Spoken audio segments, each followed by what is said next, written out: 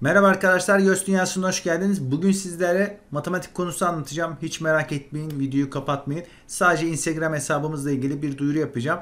Bizim Göz Dünyası kitap diye bir Instagram sayfamız var. Ee, burada çok fazla takipçimiz yok ama e, inanılmaz şekilde kitapları bize e, satmak isteyen arkadaşlar atıyor. Ve biz burada duyuruyoruz. Bazıları sadece hiç alınmış ve kullanılmamış bir iki sayfası kullanılmış kitaplar var. E, yorumlara yazarsanız veya etiketliyoruz kitabı satan kişileri. Türkiye içinde veya Türkiye dışında da kişiler olabiliyor. O yüzden e, inşallah seneye daha çok kişi katılacak buraya size faydalı olacağını inanıyorum. Özellikle seneye sınava girecekler arkadaşlar için muhakkak takip etsinler. Bu birincisi. ikincisi de yeni kitaplar çıkıyor biliyorsunuz yeni yayın kitapları. Eğer o kişiler de bizde Gmail hesabımıza iletişime geçerlerse bizim hiçbir e, teklifimiz ya da bir ticari amaçlı bir teklifimiz olmayacak. Sadece e, yolla bir kitap e, bize burada tanıtmamızı istedikleri kitapları yollamasını istiyoruz bir tane numune. Çünkü incelememiz lazım. Beğendiğimiz takdirde de yayınlarız ya da eleştirilerimizi söyleyip yayınlarız. Ya da hangi grup alması lazım? Önce en başta mı alınması lazım? Sonda mı alınması lazım? Sorular çok mu kolay, çok mu zor gibi. Bunları en azından e, faydamız olsun diye e, yapabiliriz. E, buradan da duyuru olsun bizi izlerlerse. Çünkü çok fazla geliyor bireysel olarak. Hocam tanıtır mısınız bizim kitabımız diyor ama ben kitabı görmeden hiçbir şey yapamam. O yüzden kitabı yollarlarsa biz de zaten o kitabı öğrencilere dediğim gibi burada yaptığımız bir çekilişle öğrenciye kargolarız. Kargo ücretini zaten biz karşılarız. Bunda da sıkıntı yok. Takip edin arkadaşlar. Dediğim gibi güzel olur sizin için. Bir ikincisi de diğer e, sayfamız arkadaşlar kendi resmi sayfamız Siyos Dünyası. İlk açtığımız Instagram sayfası 8700 civarı bir takipçimiz var. Ee, daha önce de söylediğim gibi 10.000'e yaklaşmamız gerekiyor. Daha doğrusu 10.000 olmamız gerekiyor ki buradan bir link paylaşalım buradaki e, bastığımız zaman snap dedikleri anlık ve orada size göz başvuruları olduğu zaman hani hocam linkini atar mısınız diyorsunuz ya ben orada YouTube'da atabiliyorum anca size. O yüzden beni YouTube'dan topluluk kısmından takip etmeniz gerekiyor. Çünkü buranın linki aktif değil daha. E, o yüzden takip edilmesine ihtiyacımız var burada en azından. 10 bin olması lazım. Yani bunu şey için söylemiyorum. Hani 10 bin yapın diye değil de hani link atabilmem için bu gerekli. O yüzden hani en azından faydamız olması için de burasının açılması lazım. Öbür türlü biz zaten hem Twitter'dan hem YouTube'dan paylaşıyoruz. Sadece eğer takip etmediyseniz burayı da takip ederseniz en azından 10 bini olduktan sonra çok rahatlıkla bir link atımı olacaktır. Geldik örnek 9'a arkadaşlar. Örnek 9'da önde çarpanlarına ayıralım ayırdık. Nedir? 3'e 2 eksi eksi x'e x yazarken şöyle yazıyoruz. Büyüktür 0. Buraya geldik. Diğerini ayıralım. Küçüktür 0. Burası ne? 3'e 1 eksi artı x'e x x eksi 3 x artı 1 küçüktür 0. Şimdi Burada önemli olan şey şu. Bir tablo çizmeye kalksam şurada sıfır eşitleyecektim. Bunun bir tane kökü 3, bunun bir tane 2. 2'ye 3 oluyor. Ve işareti artıdan başlayacağı için artıdan başlatıyorum. Artı, eksi ve artı. Bize buranın e, sıfırdan büyük olacağını söylediği için şu aralıklardan bahsettiğini anlamış oluyoruz. Yani ben 2'den mi küçük bir değer verirsem burası pozitif, 3'ten büyük değer verirsem burası pozitif olduğu anlamına geliyor. Buradaki tabloya bakarsam bunun bir tane kökü 3, bir tanesi eksi 1. Eksi 1 ile 3 yazarsam bu da artıdan başlıyor. Artı, eksi, artı. Bize bu sefer ama ne diyor? Küçüktür 0. Yani bu aralık. Şimdi buradaki ile buradakinin ortak x'lerini buluyorum. Ortak x bulmalıyım. Hangisi olacak peki? Burada baktığımız zaman aralıklar belli. Buradaki farkındaysanız şöyle bir şey var. Buradaki aralık eksi 1 ve 3'e dahil etmiyorum. 0, 1, 2 var. Burada ne var? Burada 2 dahil değil bakın. Bunlar dahil değil. 2 dahil olmadığı için siliyorum. Sadece aralığım şuradaki 0 ve 1 olayı. Şıklarda sadece 0 ve 1 olanı arıyorum. O da Bursa oluyor. Çünkü eksi 1 dahil değil. 0, 1, 2 zaten dahil değil. Bursa şıkkı. Görüyorsunuz. Geçiyorum. Devam. Burada bize vermiş olduğu iki kök arasındaki bir denkliği vermiş. Şunu demek istiyor. Buradaki negatif, buradaki pozitif. Bu ne anlama geliyor? Eğer ben bu iki kökü çarptığımı düşünürsem negatif olduğunu anlarım.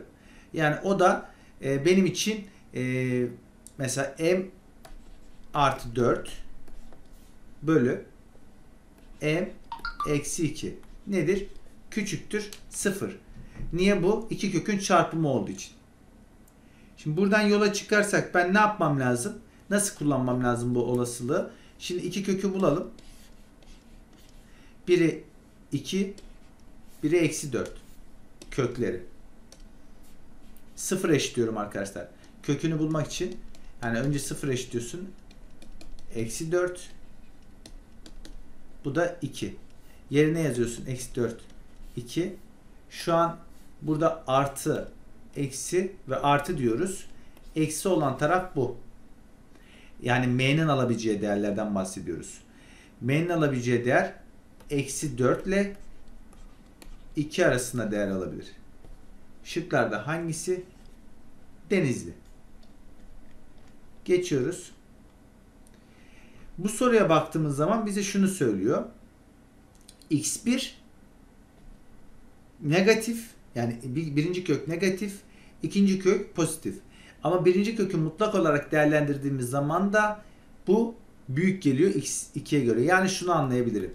x1 artı x2 toplanırsa negatif. Bunu söyleyebilirim. Ya da x1 çarpı x2 de negatif. Bunu da söyleyebilirim. Şimdi buradan yola çıkarak ben şunu söyleyebiliyorum. m bölü m eksi 1 e, ve ama eksimi unutmayacağım. O da küçüktür 0. Niye eksi koydum? Hatırlayın. b bölü a eksidir. x1 artı x2. Bunun için benim ikinci dereceden eşitsizliği yapmadan önce en baştaki konuları dinlemeniz lazım. İki konu anlattım. Orayı dinlerseniz yani denklem konusunu, ikinci dereceden denklem konusunu dinlerseniz buradaki olayı anlarsınız. Şimdi burayı tamam. Bir de aynı zamanda 4m artı 8 m eksi 1 bu da küçüktür 0. Bu nedir? Bu da yazdığım x1 çarpı x2 c bölü a. Farkındaysanız bu da negatif çıkması gerekiyor söylediği gibi. Bu da negatif çıkması gerekiyor. Buraya kadar anladığımıza göre hatta bunu eksiyle çarpalım ki şu eksiden kurtulalım. Kafamızı karıştırmasın diye. Şöyle bir şey yapmış olduk. Öncelikle buranın alabileceği denklemi kuralım. Nedir? 0 ile 1'dir. İşaret artıdan başlayacağız. Artı, eksi, artı ve pozitif dediği için buraya şunları işaretliyorum. Yukarı baktığım zaman da şuranın önce üstündekinin kökü ne? 0'a eşitlersek attım 8 diğer tarafa eksi 8 geçti. M nedir? Eksi e, 2. Yani biri eksi 2, biri de 1. İşaret olarak artıdan başlayacak. Artı, eksi, artı. Ve o da bu tarafta. Şimdi iki tane eşitsizlik sistemi var. Bir bunun, bir bunun. Ortak x'i bulmaya çalışıyorum. Ortak. Bunun şimdi nedir aralığı? Hangi elemanları içeriyor bu? Eksi 2 ve 1 dahildir. Eksi 1, 0. Bu kadar. Yukarıda hangisini dahil edebiliyorum? Sıfırı dahil edemiyorum farkındaysanız. Alamam bunu. Sadece eksi 1'i dahil ediyorum. Sadece eksi 1'i. Hangi şıkta var bu? E şıkkında var. Ee, dediğim gibi arkadaşlar şunu unutmayalım. Hani bir soruyu çözerken bir soruyu çözerken kesinlikle e, onun bir önceki konuyu hiç çalışmadan ya da tam sorusunu çözmeden ilerlemek konuyu anlamamanıza sağlar mat 2'de özellikle. Çünkü birbiriyle çok bağlantılı. Görüyorsunuz iki kökün toplamını sen bilmiyorsan burada ben yaptığım işlemi sorgularsın. Ben sana formülü de yazsam bu formül nerede çıktı dersin. Delta yani diskrementin ne olduğunu bilmiyorsan bu konuya geldiysen yine sorgularsın. O yüzden bunlar bir bütün. Ama bu bütünlükte de mat 2'yi çalışırken en çok sorulan şey mat 2'nin zor olduğu. O yüzden de mat 2, mat 1'i bilmiyor öğrenciler. E biz e, daha önce söyledik grup dersleri için e, ders yaptık öğrencilerle hızlandırılmış mat 1 bitirmek için geçen ay. Bazı arkadaşlar e, kem küm etti böyle hocam ücretli yapıyorsunuz reklamınızı yapıyorsunuz falan. E, tabii ki aldırış etmedik ama e, biz iki grup çıkardık. Yani 5 5 kişi 10 kişilik öğrenciye mat 1'i tamamlayıp bitirdik. E, ve ayrıldık. E, mat 2 için çünkü o uzun bir süreç. Biz mat 1 temeli yetişsin diye öğrencilerin yaptık. Şu an dediğim gibi bunlar olması gerekiyordu. Yani sen bir ay sonra bana gelip desen ki hocam mat 1'i bitir. Ben yani mat 1'i bitir derken mat 1'i çalışalım desen derim ki yani zor olur. Eğer temelin iyi değilse mat 1'den sonra bir de mat 2 var zaten sınavlar Nisan'da. Biraz realist düşüneceğiz. Gerçekçi düşüneceğiz. Yani konular anlamında. Özellikle sizden istediğim şey bu. E, bu soruları arkadaşlar birazdan videomda çözeyim. Şimdi bütünlük bozulmasın diye e, bu konuda burada bırakayım. E, bir sonrakinde hem çıkmış soruları hem de soru olarak çözeceğiz. Kendinize iyi bakın. Görüşmek üzere.